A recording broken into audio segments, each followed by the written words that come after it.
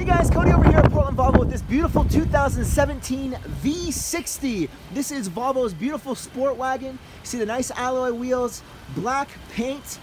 This is a T5, so it's got the uh, turbocharged engine, does have a backup camera, does have your park assist in the back. Let me open up the trunk here. So the best thing about this car is it has the same, oops, let me cover up that sunlight there a lot of the same spacing as the sedan, so it has a nice tight turn radius and drives like a sports car, but because of that hatchback trunk, you get the space of, let's say, a smaller SUV, or in this case, a wagon. Beautiful leather interior, as you can see there, nice uh, silver accent trimming. This car comes standard with navigation, uh, TFT display. It also has Volvo on call, so you can do things like remote start your car straight from your smartphone. Uh, and then, of course, that blind spot information system again, which uh, is a great help. So come on down to Portland Volvo, check it out. 2017 Volvo S60 here at Portland Volvo.